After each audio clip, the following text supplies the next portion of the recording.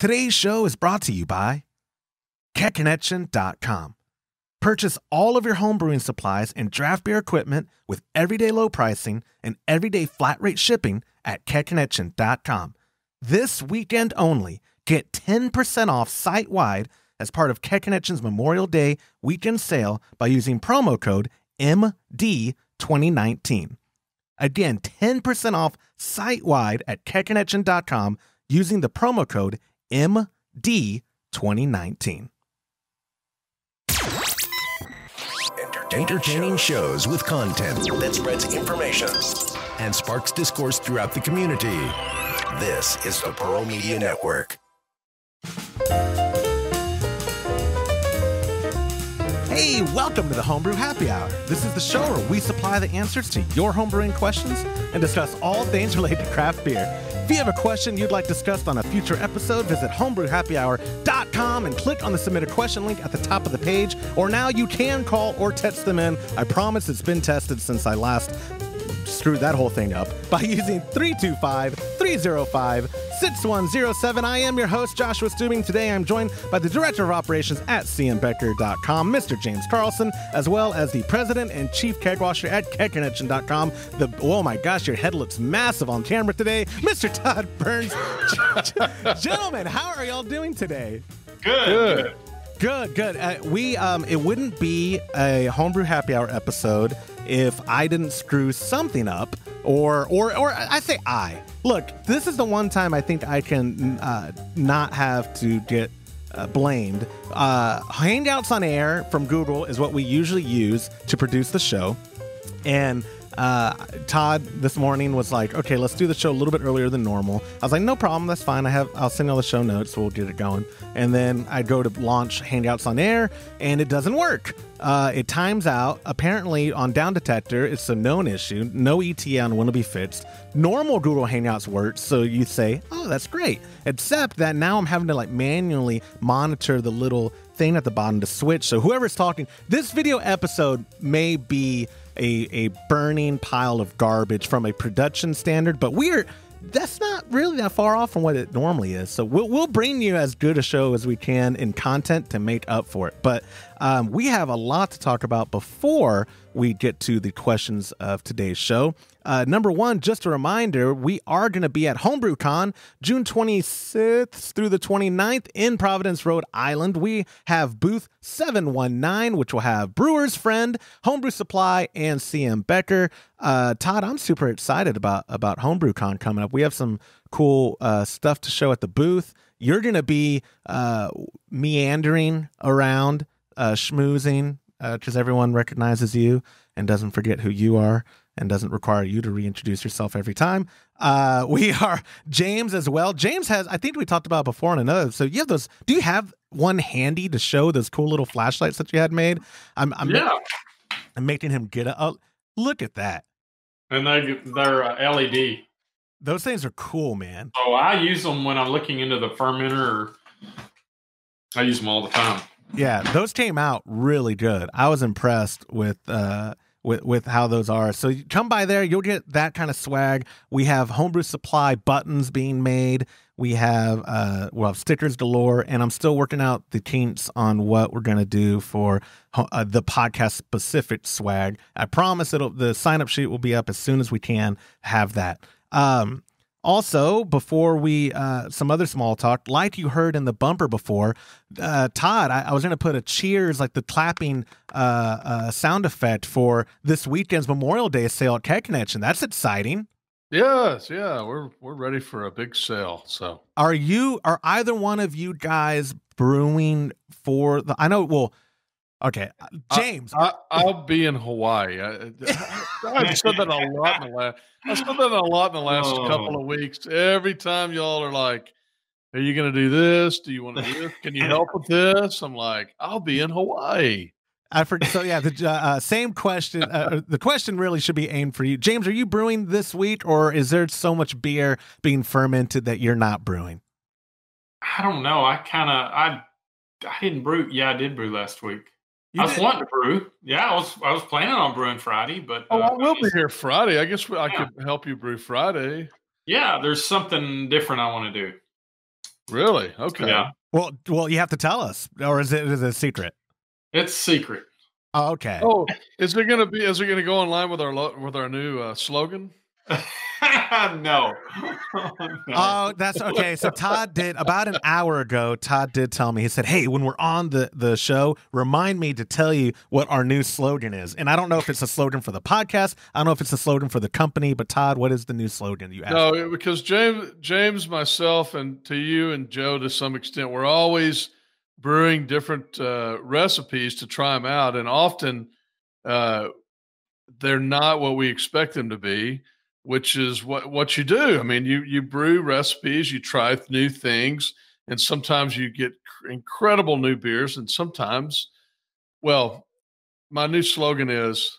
We brew crappy beers so you don't have to. Oh, well, yeah, That- yeah. That's that, that's sort of been my life motto, but not necessarily brew, but just like yeah, uh, uh, yeah, because that's what we end up doing. We we end up brewing a lot of crappy beers because we have to we change the recipe, we create a new recipe. I mean, it's amazing how many times we hit it, like that lemon drop uh, Yeah. hop beer was just incredibly good, and and you hit it on the first recipe. So I guarantee you now that we're going to try to change the recipe three more times. And we're going to brew something crappy because it was too good on the first one, and we have to change it. And and I've already talked about changing it, right? So right, right. yeah, well, yeah. Well, hopefully we do it in small, ch- make small changes, and it won't affect it as bad. It kind of pisses you off when you got 15 gallons of beer that that, that you really don't want to drink. Like I have six beers on tap right now, and there's a couple of them that you're like, they just keep sitting there, you know. And at some point, but you can't. It's so hard to just say, you know what, I'm going to quit. I, I'm going to pour this beer out. It what didn't turn out exactly like we thought, but it just it's almost it's so hard to do, isn't it? Wait a s- Yeah. wait a second. I was just up there. You have six beers on tap. Are you sure? I'm pretty sure you only had two on tap. Six. Uh, oh yeah, oh, God. He he's. I mean, he won't try anything else. He comes in and he's like, oh, I get I like this beer. I'm going to drink this beer all night. So I'm like, no, you have to try this other beer. So he's like, he had one glass of it. He's like, yeah, that's that's good. That's good. I'm, I'm going to go ahead and drink this beer now because that's the beer I'm drinking this week. That So that pale was good, and I tried more. I had I had a couple of uh, I had uh, two glasses of, of the alt. I had uh, an untold number of the Kolsch. Uh, the ESB was fantastic. oh, that, so that one and I wasn't one, that that wasn't one of the six beers. The Oh, ESB. good point. You're I right. pulled that. I pulled a sample out of the fermenter, which we're carbonating in the fermenter now, so you can actually get a carbonated beer out of the fermenter. And that beer turned out good, didn't it? That ESB, and it's not even done yet. and I'm it's ready to try because I was a big fan of that last one. Yeah, yeah, so I'm excited about that one. Uh, yeah. You guys, you, are- you nailed that recipe, James. That's a good recipe. Well, let, let's let's brew another batch so we can have some. Well, we I have 15 gallons. Yeah, we're Wait, take we're, we're, we're taking that to the homebrew corner. You want to take the pale ale? We're gonna take one. I think we're gonna take one of each. So I'm going to give you a keg of the ESB. I'm going to keep a keg of the ESB, and we're going to we're going to let these other people have a keg of it. these again. other people, the, the, the wonderful visitors of booth seven one nine is what Todd means. oh See, yeah, yeah, yeah, yeah. Sorry, I mean, uh, you wonderful people out there. Todd, Yeah, he, you know what he did? We did the pale ale, which was the first beer we did on the system, and he was like, "Oh, you got to, I've got you a keg of beer," and I'm like, "Hey, this is pretty cool," you know. And then he gets another ESB, Hey, I'm gonna get you. Hey, I like this too. Yeah, yeah. he is always sharing beer with you. I, Yeah, You know how hard it is for me to bring beer back from him? Uh, both of you guys, you guys are all buddy buddy with your beer. I, hey, um, I don't. You don't help us brew, and you don't bring us beer. I brought you beer. Uh, people, you want you want to be It's technical. just all about your needs. You want to be te- you want to be technical, Mister Burns. Uh, my Yeah. name is on the address for most of those beer shipments that come in. Ju- I mean, just just saying, people the people love me, and uh, I Not your address, though. Uh, your address. okay, fair enough. Speaking of which, Uh, from now on, you pay the rent on the building, and you can have all the beer that comes here. oh no. Okay, moving on. Uh, sp- well, speaking of which, and this was not listener sent, Todd, uh, I'm looking forward to the next trip up there because Todd brought back from Minnesota. No, no, no. I shipped it. Yeah. Uh, I- that's what I- I'm saying. Well, I, I was saying it wasn't a listener, it was you. Oh, yeah, yeah, yeah. You brought back a ton of Surly beer. oh, Uh, good. Well, Surly and two other breweries. I was in Minneapolis, St. Paul. I went to Surly, which was incredible, and then I also I, I bought a couple of other beers that I didn't I didn't even try when I was there because I didn't go to those breweries, but they're supposed to be really good. So I, I it's going to be exciting to try all those. yeah. I'm I'm locking them in a room until I get back from Hawaii, and then we'll all try them together. it's almost as if you've had an issue with people drinking your beer at the office. That's weird. I, I didn't- Oh, I was more worried about the two people that are going to be staying in my barn while I'm gone. and I, hey, for, for clarification, I'm not one of them. He's not talking about me. Uh, Uh, oh, no, actually, James, I gave you some though, right? you So, did. You were very good at you, that. what do you think? I loved them. Yes, all of them. Tell uh, what t- talk a little about uh, The uh, Surly Kolsch was my favorite, of course, and it was a little hoppier than than uh, a Kolsch technically could be, but it was in a good way. oh, I don't know. I really like now. I didn't, you know, to be fair, I didn't try it in a can. I tried Yeah. it on draft, and it's their seasonal. Yeah, And the one I tried wasn't very hoppy at all. So maybe there it's a little bit different recipe in the can. well, I, well let me let me Very let me say that it's hoppier than I do my Kolsch, Okay, okay, fair and enough. I and mine is in the guidelines. So yeah, I don't know that that might be pushing the IBUs according to the style guideline. I'll, I'll have to try the can because the one I tried uh, wa- wasn't very hoppy. But your your your hop taste buds and my hop taste buds are there's no comparison. It's apples to oranges. right, true. Yeah, everybody has their own taste palette. So yeah. and mine's just garbage. Uh, apparently, I, I think I've already told the story where I embarrassed myself with James's fourth or fifth iteration of that Kolsch, and I was like, he, he was like, try this, and I was like, oh, is that the new Vice beer? It was a, he, he looked at me like I was the biggest idiot in the world, rightfully so. It, it was a look that Todd has given me many times over the last eleven years. Not tr- oh, Josh, come on now. It's true. I'm yeah. See, I was gonna say I'm in control of the camera. I'm looking at you right now. Anyway, uh, speaking of Kolsch, my dad and I just kegged our 10 gallons of Kolsch. Ooh, And pre-carbonation, oh my gosh, it came out good.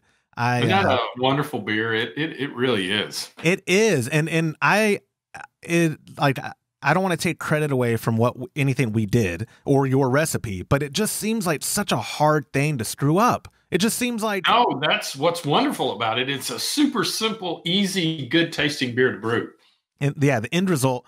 I, like I said, I couldn't be happier. I, I have five gallons in my kegerator here because he didn't have the space for all ten there, and he was trying to get the nerve of this guy. My brother has opened up a poker house or card house in Austin, Texas, and their grand opening is this Saturday. And my dad was like, "What do you think about giving five gallons of that Kolsch and let them use it for their grand opening?" And y'all know I'm super selfish. I was like, You know, "No, like no, seems like a really nice thing to do for your brother to me. yeah. It does, but I remember one time he punched me in the back of the head when I was nine, and I'm still holding on to that grudge. And no, kidding aside, I'm not. But it's like you ask me, we would have, I would have brewed something uh, special for it. I've been looking forward to this Kolsch, and again, it'd be easy enough to brew more. Uh, so the reality is, we're probably going to give him the beer because I'm going to get you know suckered into doing it. But uh, the moral of the story is, uh, I don't want to give away this. I was looking forward to this beer the Kolsch, it, it is just it was it came out phenomenally, and I'm I told my dad I said we just need to always have that on tap, like period. We just always need to have it on tap, uh, whether it's your house or my house. Realistically, his house. Uh, always need always need a keg of Kolsch on tap. Now I do want to segue into uh, James the alt. You Yeah. uh, how is I have not heard any update. You did do a rebrew. You wanted to you wanted to rebrew it. How what's the status on that one? You happy with how it's Uh, coming out? Don't really know yet. It's still pretty muddy. I cold crashed it today, so um, we'll have to see.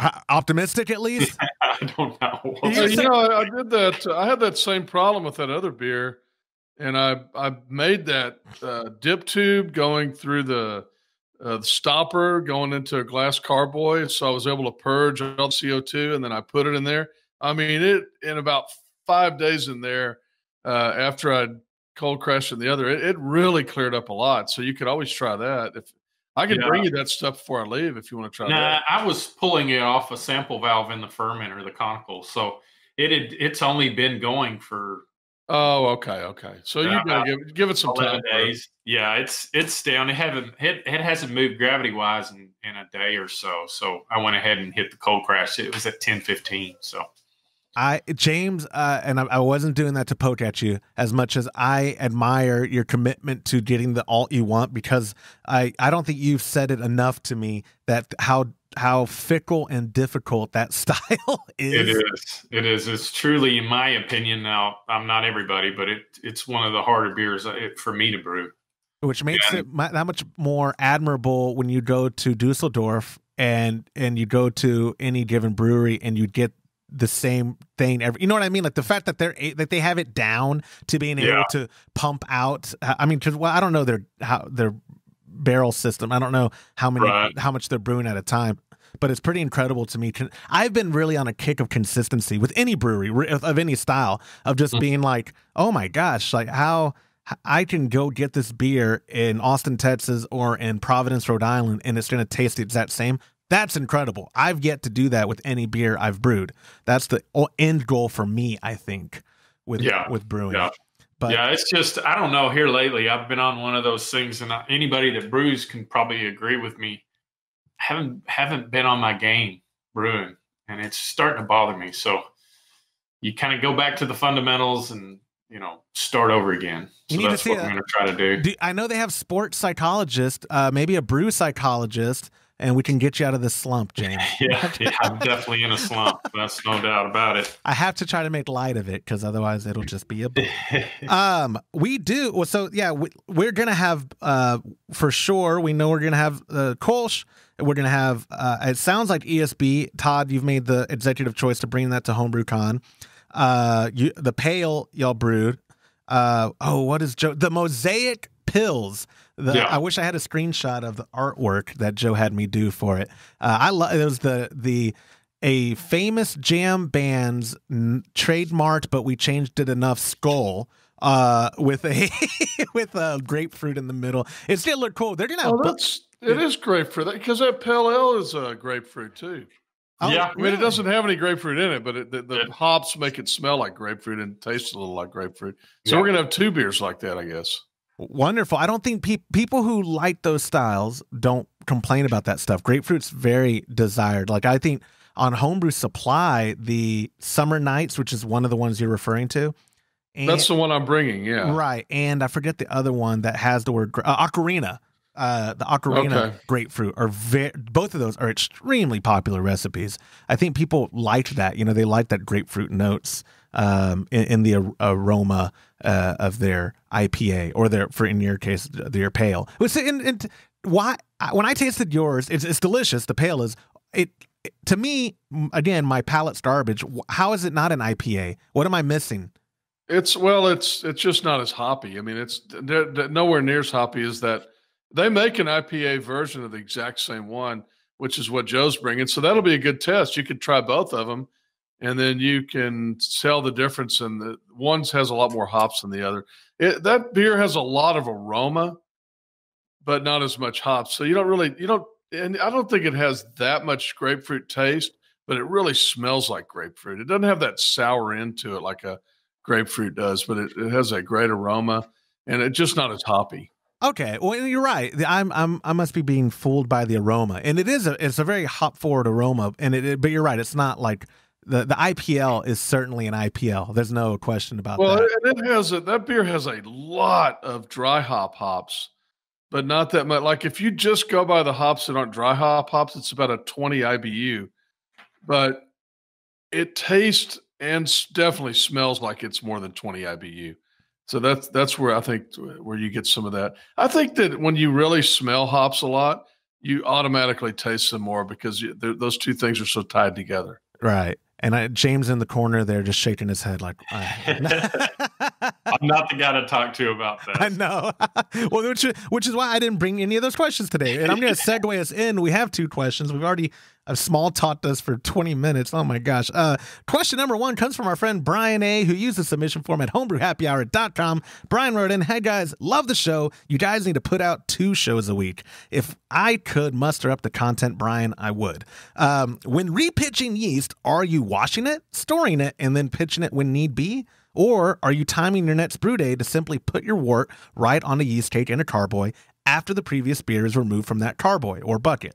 Also, is washing yeast worth it? I heard you can contaminate your yeast if it is not washed properly. I'm going to throw it to you, James, first because you've been on a kick of preserving, for the Kolsch at least, yeast. Yeah. You have a lot of experience with it. Uh, we'll, we'll go all into how many repitchings you think is the ideal number, how you do it, all that. But taking Brian's question, what are your thoughts?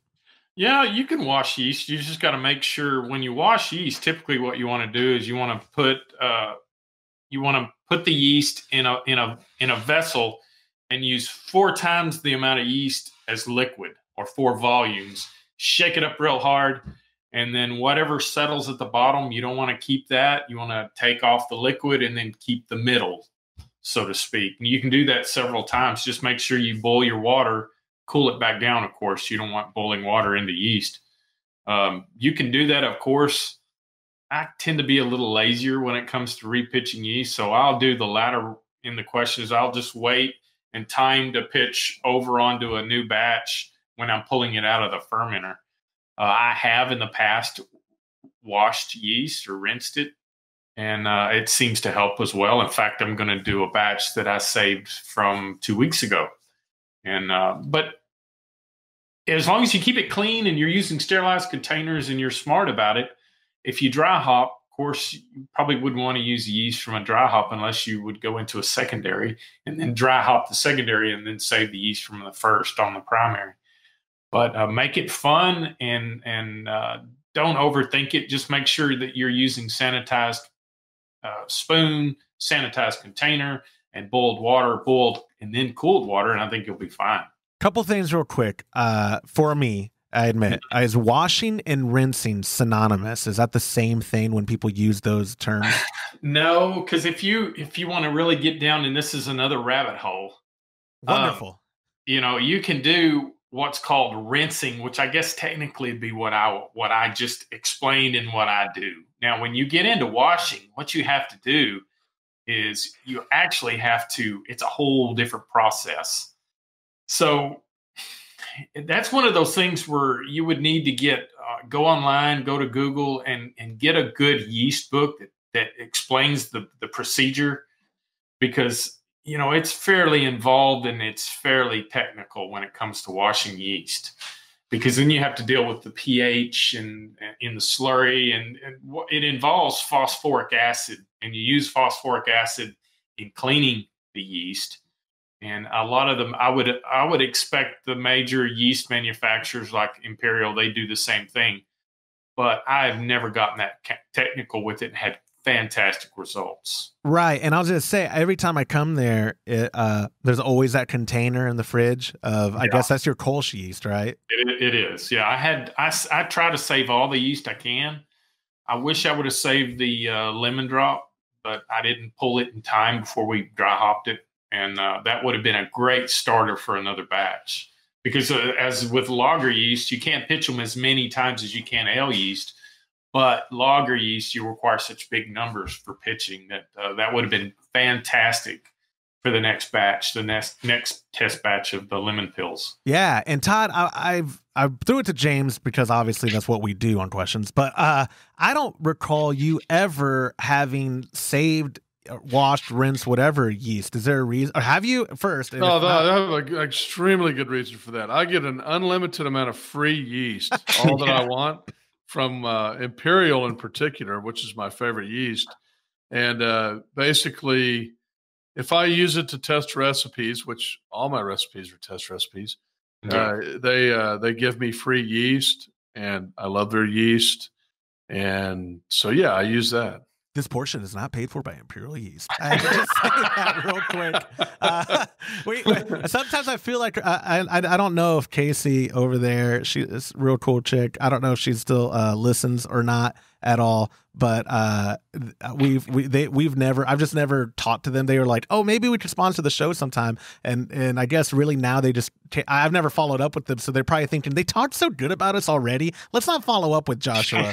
let's just let's just oh, let that's free for Pusley. Yeah, let's well, just I mean, yeah, Casey, I love you. I mean, uh, free yeast, a guy loves that. Yeah, I really, really appreciate it. Owen, yeah, Owen over there, y'all are doing I great know. work. Yeah, they're, Yeah. they're doing good stuff. But um, I guess you know just to to wrap up Brian's part, the the the is it worth it? Now I know that's subjective, but what do you think? I don't think I think rinsing is just fine. I think if you want to do rinsing, uh, I think you're going to have good results. There's been times I'll be honest with you, I don't even rinse it, and I've had phenomenal success repitching yeast. Dumb luck or because of just I don't know. I had four straight.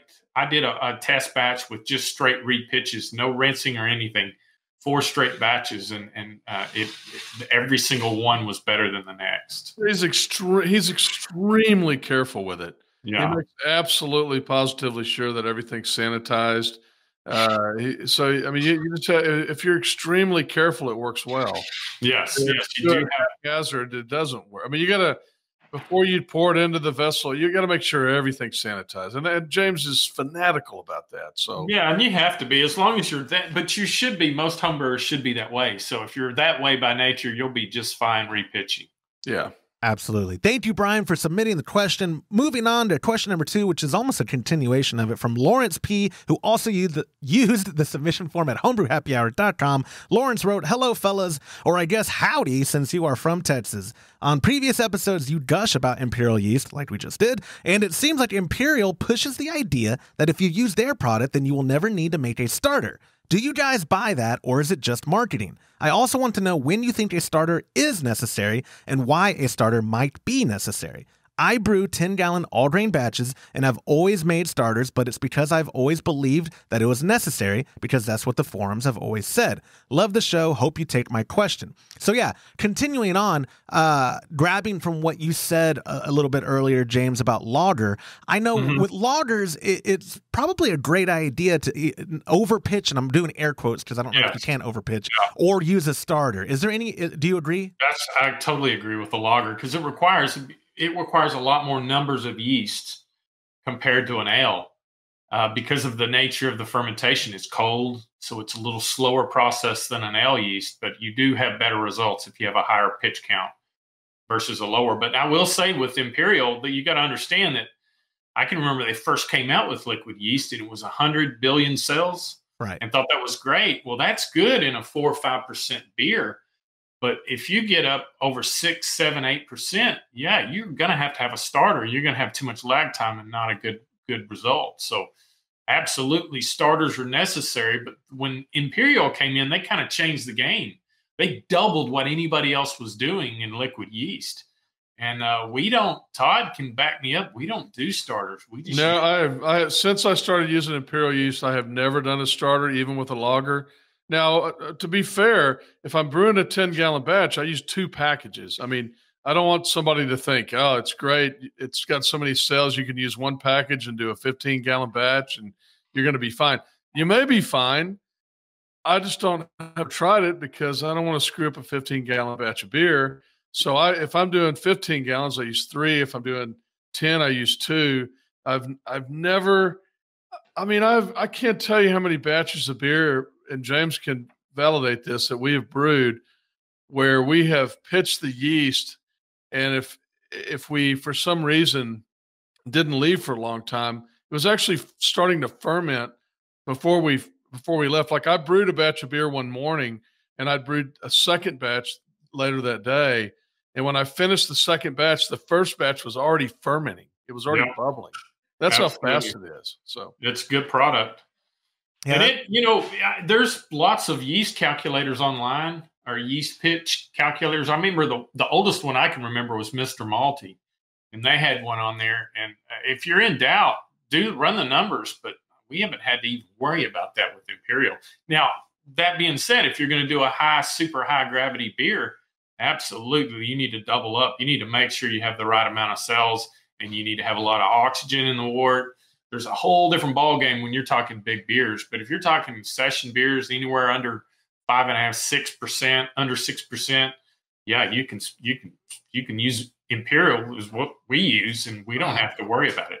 You know what else I think's really helped, James, is now that we're using the big fermenter and we're taking that pump, and the pump's basically taking it to the top of the fermenter and then a fairly small stream shooting right. it into the fermenter. We're oxygenating the crap out of that beer. Yeah. So yeah. we've got really oxygenated beer and we've got really good yeast. True. I, I think both of those things together help a lot. Yeah, they're they're important. It's that triangle, that fermentation triangle. You got to have sugar, you got to have oxygen, you got to have yeast, yeast numbers. So and love, you have to have love. love. lots yeah. of love, lots of love. sometimes sweat. Uh, if, if, when I'm brewing with my dad, sometimes I have tears. Um, it's all all the above. I wanted to bring up two things. One, uh, you you kind of covered my uh, question or what I was about to ask already, James. But if you don't do a starter, you just need to pitch that much more yeast. Correct? That's correct. You need to know what you need for a given batch. Okay. And, and, and, the good thing about Imperial is it's doubled up. It's basically two packages of the competitor's yeast, yeah, as long as it's fresh. Now, the, the freshness date, you know, there, there's viable cells, and every day it gets older, there's less viable cells in a pack. Well, then their freshness date's only half of what everybody else's is. They perfectly, exactly. they say ours is only good for three months Everybody else says six months. Well, I'm not sure if everybody else says that, but right. they say three. The yeast is it's not because it's a different yeast. They're just saying we think you should use it within three months and not wait and use it six months later. So mm, yeah, that's true. And and you know, in the past when we've tried that, haven't really had very good results on really old yeast. We, in fact, remember the one where we had really we had yeast that was like five or six months old, and yeah, we put like four or five packets in, and it still took it's forever still to start. Yeah. yeah, yeah. Well, you know, I, I don't know if y'all recall because it was kind of a hazy visit up there, but last year's HomebrewCon, before the actual show, we toured Imperial and we we interviewed Owen. It was a great time. We had a blast. Yes. But remember, he was very, I wouldn't say uh, offended, but he was certainly very. he didn't like my question. he was convicted in the notion that you don't use starters. He, he was almost like this product, yeah, yeah. He was almost like period. And, and remember, I think his answer, and I don't remember if it was on air or off air because we we talked to him a ton all, after recording. Yeah. We, we were there a while. it was off air. Yeah, it, and do you remember though him saying uh, something along the lines of like, "If you ever feel like you need a starter, call me." Yeah, yeah. He said, "Call me, tell me how big a batch you're doing, and I'll send you the right size yeast." Exactly. Yeah. yeah that was pretty cool. Owen's a good guy. He really is. He is. And I thought that was an incredible answer because I was like, oh my God, well, I'm going to call this guy yeah. now and see what he thinks. But yeah, I, I, I, I remember he did an episode of um, the Beersmith podcast with Brad Smith, who again, if y'all listen to any other homebrewing podcast, he, he he's either hit or miss because people don't like. He has that old time radio. He does. Well, welcome yeah. back to the Beersmith. You know, and his interview style. He's very. I love him. I, the is super yeah, cool too. too. His software is incredible too. You know, we're he, he's a good dude. But he uh he interviewed Owen, and I think that's the only time where I think in the comments people were like man, is that Owen guy really didn't like uh, Brad talking about starters? You know, go to the. Oh, are you serious? Oh, that's interesting. Yeah. Well, you know, the the flip side of that's Joe. You know, Joe with Homebrew Supply, he he brews quite a bit, and he almost always just used the dry yeast and sprinkles yeah, it on the top. Did. Yeah, and he, uh, yeah, I've never seen him have a problem. So maybe we're overthinking it. I don't know, but yeah. he he's done really well that with that technique. Yeah, true. yeah, true. And and I've just always just read the recipes and followed it. I have never experimented, but I I have only uh we did a uh what was the recipe that I think it was the ESB that you it used to include a different yeast in there and I believe yeah. every other brew day I've ever done has all has always been imperial. Uh, yeah. Again, per recipe. James James was the earliest convert in our circle. He he used it and then he said, "You're this is what you're using." I don't think you, you, you didn't give me an option. no, you didn't. I I told I told like me. Yeah, I said James, make me a recipe, and uh, oh, I thought I thought on the pack or on the old sheet it said use this one. You said no, this is what you're using. It was like a Jedi mind trick thing. like this is not the yeast. Hey, Uh, can I can I say something totally off subject? I guess. I've noticed that you have your Founders Breakfast Stout shirt on, which you were at one point banned from talking about that beer anymore on the show. But uh, I've I would just like to say that I think that you've shied away or something. I mean, you're you're no longer a team player on this because Whoa. I have had two Founders Breakfast Stouts prominently displayed in my beer fridge for six months now. For six months, and you have not touched them. And when you've been there almost every other week or more, I, I haven't seen them. They're in your fridge. I had. no way you can miss them. I've pointed them out to you. Wait, okay, to to my credit, name the last beer I've had out of that beer fridge that that wasn't one you brought to me. Na- name one beer I've had out of your beer fridge in the last six months. I, I honestly can't. I can barely remember the beers that you get out of the beer fridge at the end of the night every time. No, yeah, I, I, don't know. don't. I, what are you talking about? I've always poured from your kegerator. You've had beer on tap consistently for a year plus. Yeah. It's been a while since you haven't. And the last time was that taste test. We had two taste test nights. Just saying, I bought you some, so you'd always You're be there no, for you. and you're- don't drink it anymore. For two things, you're trying to call me out, and I'm gonna kick your ass next time I'm up there. Uh, so we're gonna wrestle. We're gonna have the rematch. Uh, secondly, uh, you, uh, you, if you didn't have Kolsch or ESB or Alt on tap, I would open your beer fridge. No offense. Uh, I would much rather have a, a draft beer than pop the top. Thank you, James. I would. Yeah, the whole experience. it's It's, all those. and, beau- and to be honest, he has some pretty damn good beers on tap. So he I mean, really has. pulled from the fridge when we can pull from a tap? See, yeah, Todd. no, I, I can see that. Yeah. Todd, you're trying. You are just trying to make it awkward between me and founders, and I, Founders, he's he let you down. I'm just want you trying. I'm that. still trying to get. I, I, it's just anything. I want them to acknowledge I exist. This, I have daddy issues apparently with founders. I'm trying. Like, just give me attention. They had that like f- fan contest not that long ago. Was it last year? Like when. Like how it's like their IPA all day uh, contest or their gold something contest. Show us the beer and how it affects your life. And I didn't actually do the photo part of it. Not be good in some instances. IPA day all day long is not always a good thing. You're right. Well, so I think it was. Just, I think what people found out is uh, there's a ton of alcoholics that drink founders. is what uh, they found out. but besides, I've that, been drinking IPA for 14 hours Yeah. now. I love you. yeah, how You did know, it, for an interesting photo contest. Uh, how did it affect my life? Well, I'm on dialysis. Uh, anyway, uh, Lawrence, thank you for submitting your question. Uh, we that that does it. That wraps it up for today's show. I do like Brian suggesting we do two shows a week. I don't think that's in the near future, but what is in the near future, what I forgot to bring up at the top of the show, is we have uh, the production room is really shaping up. Uh, Todd's right hand man, Vilver, he's put in a lot. I mean, he got a lot done yesterday. Oh, I forgot to send you a photo. It's all done. The sides and everything. I'll send it to you after the show. I, and Looks I'll, really nice. I'll post it up because I'm I'm super excited. We're gonna have a ton of videos. James, you wouldn't believe how many people have been mm, sen- sending us video. Uh, what we should be making videos of suggestions, and a, and a lot of that involves you. You were you're a star, my friend. People said no, I'm not. I'm well. Well, Well, you pro- know, he just looks good on camera. You know, that's what it is. He just it- that face. And I've actually never said that to me before. I'm actually gonna forward you the email from someone. Someone used my phrase. I used uh, handsome James. They said they said they said any video with handsome James on it, and I I sent them a gift card to Keg Connection just for making me laugh. Oh, there you go. Anyway, guys, I, oh, wow. I, I appreciate y'all's time, uh, and we will do this again soon. I'll oh Todd, enjoy Hawaii. James, I will see you soon, my friend.